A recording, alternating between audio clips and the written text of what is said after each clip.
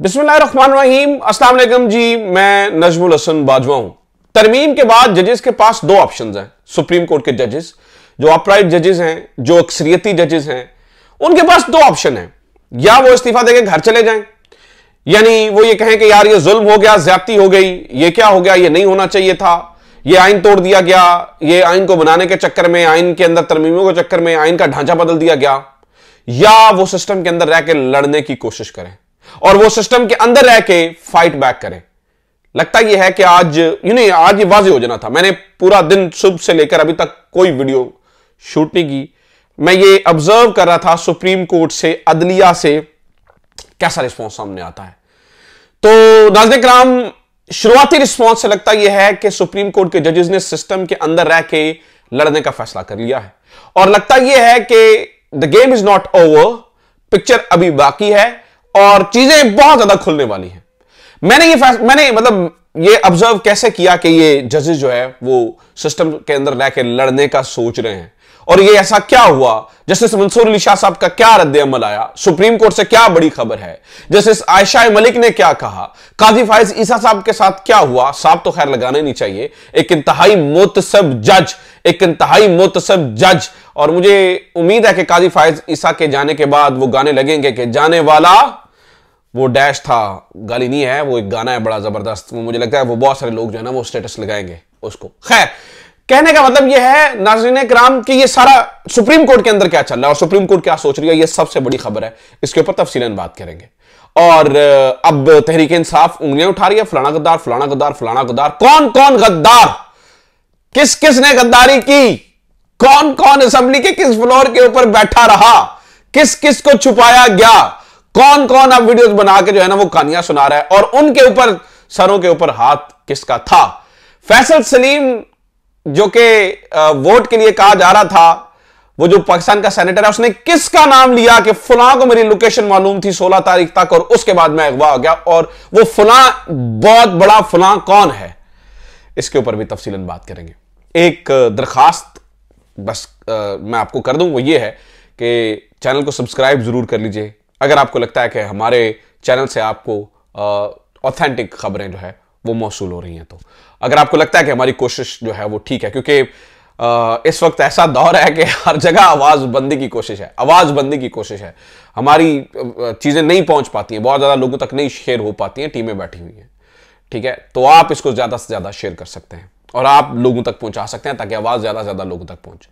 तो सबसे पहले ज़रा सुप्रीम कोर्ट को और इनके जजेस को डिस्कस कर लेते हैं और गद्दार कौन, फलाना कौन, ढिमकाना कौन, ये दूसरे पार्ट में डिस्कस करते हैं। सो सुनिए जनाब, आज दो केसेस के अंदर जजेस ने अपना माइंड ज़ाहिर किया है। जस्टिस मंसूर अली शाह साहब क्या सोच रहे हैं? सबसे इंपॉर्टेंट क्वेश्चन तो यही है ना। देखिए, तरमीम तो हो चुकी जो होना था। एवान बाला से, वादे जेरी से पास हो गई। बिलावल भुट्टो ने जो है ना, वो काला सांप भी कह दिया और उन लोगों को काला सांप कह दिया जो कि अदलिया के लोग हैं और जो ये मुखालफत और जिन्होंने वज़ीर आजमों को घर भेजा।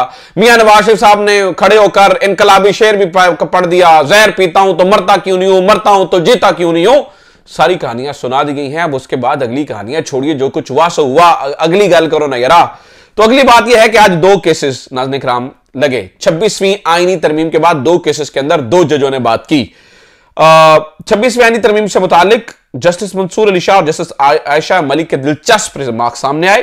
मौसमियाती तब्दीली अथॉरिटी के क्याम से मुतालिक केस पर समात के दौरान जस्टिस मंसूर अली शाह ने एडिशनल अटॉर्नी जनरल से मुकालमा किया अटॉर्नी जनरल किधर है? उन्होंने कहा जी वो आ, आ, वो रात देर तक वो वहाँ में मसरूफ रहे। उन्होंने कहा पूछा क्या मौसमियाती तब्दीली का चेयरमैन का नोटिफिकेशन जारी हो चुका है? अभी नोटिफिकेशन जारी नहीं हुआ एडिशनल अटॉर्नी जनरल ने कहा। अटॉर्नी जनरल किधर है? जस्टिस मंसूर अली शाह ने कहा। अटॉर्नी जनरल गुजश्ता रात मसरूफ रहे, इसलिए नहीं आए। एडिशनल अटॉर्नी जनरल जवाब दिया। इसके ऊपर जस्टिस मंसूर शाह ने मुस्कुराते हुए कहा, अब तो सारी मसरूफियत खत्म हो चुकी अदालत ने केस की समात दो हफ्तों के लिए मुलतवी की, यानी कि यहाँ पर हल्का सा टॉन्ट किया। उसके बाद मुसाबकती कमीशन के ऊपर बात थी। मुसाबकती कमीशन से मुतालिक हाईकोर्ट के फैसले के खिलाफ अपील पर समात के दौरान जस्टिस मंसूर अली शाह ने आईनी बेंच का तस्करा किया। क्या यह केस अब आईनी बेंच में जाएगा या हम भी सुन सकते हैं? जस्टिस मंसूर अली शाह का मुस्कुराते हुए सवाल। जस्टिस मंसूर अली शाह ने कहा कि अब लगता यह है यह सवाल सुप्रीम कोर्ट में हर रोज उठेगा कि केस आम बेंच सुनेगा या आईनी बेंच सुनेगा। ठीक है? आ, वकील फरोग नसीम और ये फरोग नसीम साहब ये याद रखिएगा ये वो हैं जिन्होंने ड्राफ्ट किया इस पूरी कॉन्स्टिट्यूशन को आ, वो ये जो नई तरमीम को। फरोग नसीम साहब कहते हैं कि सियासी केसेस अब आईनी केसेस बन चुके हैं। जस्टिस आयशा मलिक बोली, चलें जी, अब आप जाने और आपके आईनी बेंच जाने। तीन अच्छा जस्टिस मंसूर शाह साहब ने कहा, तीन हफ्तों तक केस की समाप्त मुलतवी कर रहे हैं, तब तक सूरत वाजे हो जाएगी। जस्टिस आयशा मलिक ने कहा, नई तरमीम पढ़ लें, आर्टिकल 199 वाला केस यहाँ नहीं सुन सकते। जस्टिस मंसूर शाह साहब ने मुस्कुराते हुए रिमार्क्स दिए, वैसे भी हमें खुद समझने में जरा वक्त लगेगा। यानी कि जजेस ने अपना माइंड डिस्क्लोज किया है और एक्सपोज किया है कि वो क्या सोच रहे हैं। डिस्कंफर्ट इस पूरे मामले से। और नंबर टू नाजन कराम वो कह रहे हैं कि भी ऐसे नहीं छोड़ सकते, तीन हफ़्ते तक मुलतवी कर रहे हैं, फिर चीज़ें जरा वाजे हो जाएँगी। इसका मतलब क्या समझा जाए? नाजन कराम देखिए जो चीज़ मुझे इस वक्त, अब मैं खबर नहीं, अब आपके सामने तजिया रखने लगा हूँ, ये मेरा तजिया है, खबर नहीं है तजिया है। देखिए, ये जो आईनी तरमीम आई है ऑब्वियसली इस आईनी तरमीम ने, जिन्होंने इसके अंदर वोट नहीं दिया, उन्होंने चैलेंज करना है। चैलेंज होनी है ना, ये आईनी तरमीम तो चैलेंज होनी है। अब ये आईनी तरमीम कहाँ चैलेंज होगी? ये सबसे इंपॉर्टेंट क्वेश्चन है। ये आईनी तरमीम कहाँ चैलेंज होगी? क्योंकि ये आईनी तरमीम की आईनी बेंच में चैलेंज होगी। और भाई, आईनी बेंच तो उस आईनी तरमीम के वजूद में तरमीम की वजह से वजूद में आया ना। तो आप जब उस वजूद को क्वेश्चन कर रहे हैं तो फिर आप उस बेंच के सामने थोड़ी जाएँगे। यानी कि आईनी तरमीम की बदौलत एक बेंच वजूद में आया है। आप उसी आईनी तरमीम को चैलेंज करने के लिए उस बेंच के सामने तो नहीं पेश हो सकते। ऑब्वियसली उसको आपने चैलेंज करने के लिए किसी मौजूदा सेटअप में ही पेश होना ना, जो न्यूट्रली देख सके कि यार ये ठीक है, ये गलत है, ये फुला है, ये ठीक है, ये नहीं सही है। ऐसे ही होगा ना। अब होगा क्या? मेरा जाती ख्याल ये है, मेरी, मेरा तजिया है कि दो ऑप्शन हो सकते हैं। अब एक तो यह है कि तहरीक इंसाफ नए चीफ जस्टिस का इंतज़ार करेगी, जो कि पच्चीस अक्टूबर के बाद हो गया। नया चीफ जस्टिस या जस्टिस या या अफरीदी होंगे, या जस्टिस मंसूर अली शाह साहब होंगे।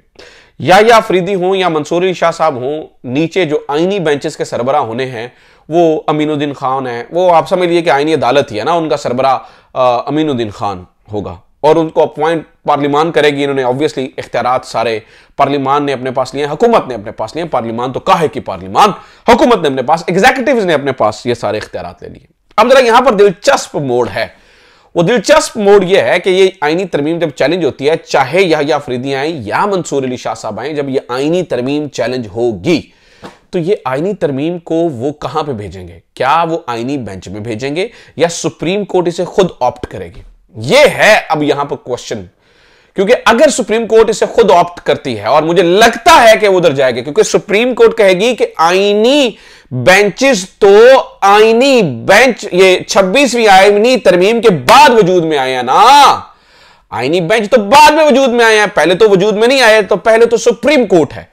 तो ये सुप्रीम कोर्ट का अगर जस्टिस मंसूर अली शाह साहब कहते हैं ठीक है इस पूरे मामले को आ, वो होती है तो वो फुल कोर्ट इस पर बना देते हैं और उसको लाइव कर देते हैं।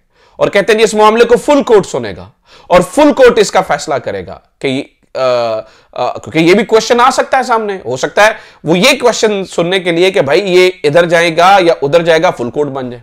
हाँ फुल कोर्ट बन जाए।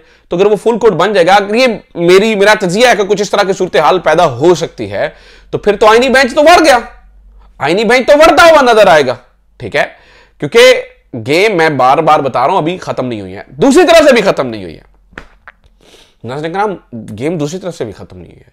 दूसरी तरफ़ क्या हो रहा है? दूसरी तरफ़ नाजन कराम इस वक्त ये हो रहा है कि वो ये कर रहे हैं कि वो सिर्फ़ छब्बीसवीं आईनी तरमीम तक नहीं रुक रहे हैं। वो सत्ताईसवीं और अट्ठाईसवीं तरमीम पर भी जा रहे हैं। सत्ताईसवीं और अट्ठाईसवीं तरमीम तक भी बात जा रही है। उसके अंदर फौजी अदालतें और ये सारा कुछ, क्योंकि बंदे तो इन्होंने बचा लिए हैं। बंदे तो उन्होंने बचा लिए। अब लगता यह है कि अगर जजेस सिस्टम के अंदर रह के मुकाबला करते हैं और इस सारी सूरत हाल के अंदर थोड़ा सा फाइट बैक करते हैं तो आज जो वक्ती जीत है गवर्नमेंट की, ये जो शादियाने बजा रहे हैं और भंगड़े डाल रहे हैं और गाने गा रहे हैं, ये वक्ती जीत शिकस्त के अंदर तब्दील हो सकती है। और गवर्नमेंट को काफ़ी बड़ा धचका यहाँ पर लग सकता है। लेकिन ये देखना होगा। अब क्योंकि मैं बता रहा हूँ, छब्बीसवीं और सत्ताईसवीं आनी तरमीम पे भी ये जा सकते हैं। तो छब्बीसवीं और सत्ताईसवीं आनी तरमीम में मैंने आपको बताया, बंदे कहाँ से आएँगे? उसमें मौलाना फजल मान अगर नहीं देंगे फौजी अदालतों पे तो उन्होंने बंदे तो बचा लिए ना तहरीक इंसाफ के, लोटे बच गए। अब देख नहीं रहे कि किन किन ने जो है ना वो जो है ना वो वीडियोस दी हैं, डॉक्टर जरका की वीडियो है जी, मैंने तो कहा था, मैं नहीं दूँगा, सबको पता आप किधर थी। जैन कुरेशी साहब की वीडियो आ गई। जैन कुरेशी साहब के बारे में मैं सोच भी नहीं सकता था। और उनने कहा, जी देखे, मैं तो ये है, मैं यहाँ पर था। लेकिन यहाँ पर एक छोटी सी गलती होगी। जैन कुरेशी की वीडियो से पंद्रह बीस मिनट पहले जो है ना, वो डॉक्टर फरहान विर्क ने वीडियो लगा दी, उनके बंदे ने वीडियो लगा दी। तो जैन कुरेशी तक वीडियो बढ़ गई। अब सारे मुबारक जेब हों, चौधरी इलियास हों, औरंगज़ेब खिच्ची हो, उस्मान हो उस्मान अली साईवाल वाले, ये सारे के सारे बढ़ चुके हैं और कौम के सामने नंगे हो चुके हैं। और मैं आपको बता दूँ कि कौम कभी भी मुआफ नहीं करती है नाजन कराम कौम कभी भी मुआफ नहीं करती है। तो ये एक ज़बरदस्ती, एक इक्वेशन एक सूरत हाल, एक मामला, एक ज़बरदस्ती चीज़ जो है ना, वो हमें बनती हुई नज़र आ रही है, जो कि which is very very very very interesting very interesting so let see आगे चीज़ें जो है, वो कहाँ तक जाती हैं। मैं आपको ये बता दूँ कि तहरीक इंसाफ को अब उंगलियाँ और ये दिखाने के बजाय अंदरूनी तौर पर इनकी पॉलिटिकल कमेटी को फैसला करना होगा। कि लोटे हैं और जो लोटों का जो है ना वो मामला अब अच्छा नहीं है, उनको साइडलाइन करना होगा। मैं नहीं कहता अभी निकाल दें, लेकिन साइडलाइन करें, उनको किसी भी मेन चीज़ में ना, लेकिन इमरान खान फैसला करेगा किसको निकालना और किसको नहीं निकालना। क्योंकि एहतशामुल साहब कहते हैं, जी, मैंने फैसल सलीम साहब से बात की है, जो सेनेटर हैं।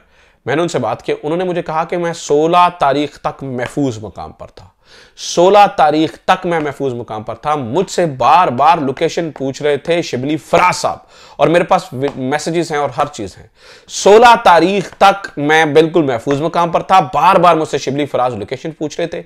जब मैंने लोकेशन बताई जब मैंने लोकेशन बताई तो मुझे चंद मिनटों के अंदर अंदर उस लोकेशन बताने के, चंद मिनटों के अंदर अंदर अगवा कर लिया गया और मेरे पास इन तमाम तर चीज़ों के सबूत मौजूद हैं, मेरे पास स्क्रीन शॉट मौजूद हैं। तो जनाब, गल जी थले शुरू होना ना, गद्दार की तो गल बहुत उत्तर तक जानी है। आज पूछे ना जो कह रहे थे अलीमीन गंडापुर साहब, मुझे लगता है बहुत अच्छी खबर आएगी, बहुत अच्छी खबर आएगी। मैं बच बचा के बारह जिल्लू से, बारह जिल्लू से यहाँ तक पहुंचाऊं बारह जिल्लू से। ओ जी, ये धमिया कौन लगाता था? वो आज सारे नंगे हो गए हैं नाजन कराम। माजरत के साथ कोई मुझे कहता रहे, नीचे आके बोलता रहे, नहीं नहीं अली अमीन को कुछ ना कहें अली अमीन को कुछ ना कहें।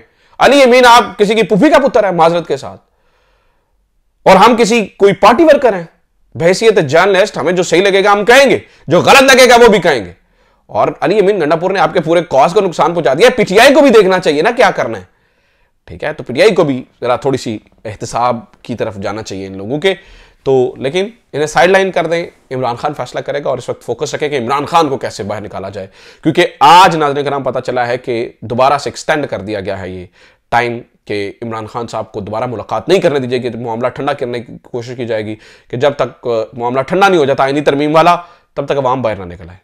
तो ये कोशिश की जा रही है। So let's see way things go अपना ख्याल रखिए। खुदा हाफिज, पाकिस्तान, जिंदाबाद।